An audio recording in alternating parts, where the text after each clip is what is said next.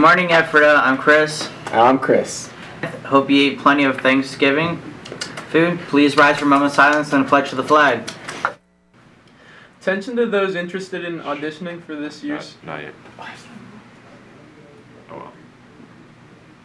Hello, Ephrata. Yesterday, the Ephrata bowling team went against Lebanon yesterday, but they lost.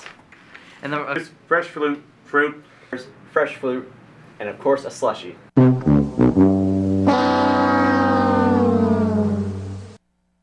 Juniors, that's SAT at the high school, It's February 10th. Don't delay. Register. Rival team defeated Conestoga Valley 493 to 486. Top shooters for Ephrata was Malik Hamid 100 to Is this your shoe?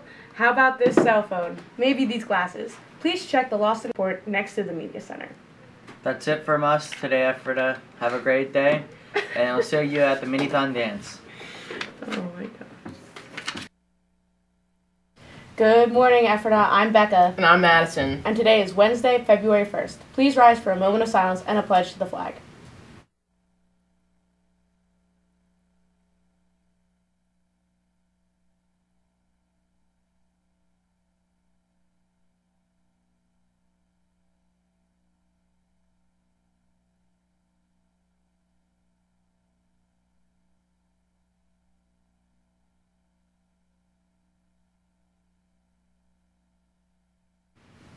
Attention juniors, Millersville University will be hosting a college fair on Thursday, March 16th.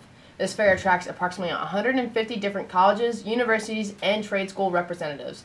This is a great opportunity for 11th graders to interact with and learn about different colleges.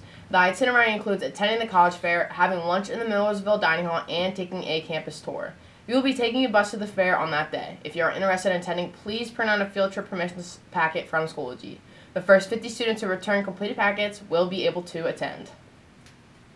Today will be the first Brain Busters competition of the year for our Quiz Bowl team. If any student or teachers would like to attend, arrive at WGAL Studios between 6:30 and 6:45 on Wednesday night. Good luck, Quiz Bowlers. Now over to Madison with lunch. Today for lunch we have chicken nuggets with a whole grain roll, a bacon, egg, and cheese sandwich on a whole grain roll, Italian hoagie, and the sides are french fries, red pepper strips with dip, fresh fruit, or slushy. Now over to Chris with sports.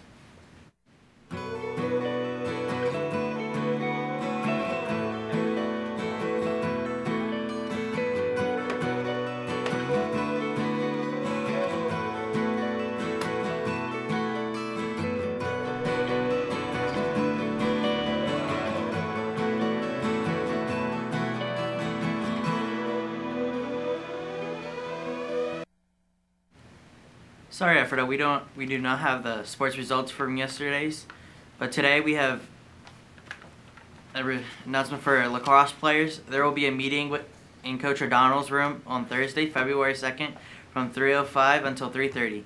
Any boys interested in playing lacrosse this year must attend this meeting. See Coach O'Donnell in room 212 for more information. Today, bowling takes the lanes against Lebanon.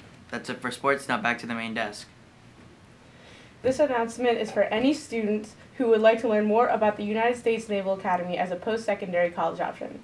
There will be a bus trip to visit the academy, which is located in Annapolis, Maryland on Saturday, March 25th.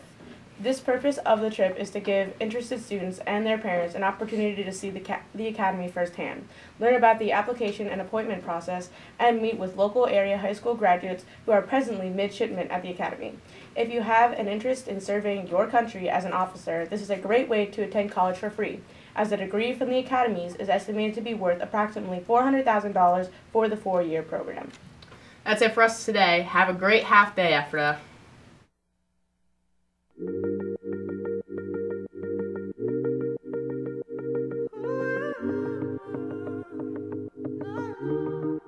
Tell me what you really like, baby, I can take my time. We don't ever have to fight, just take it step.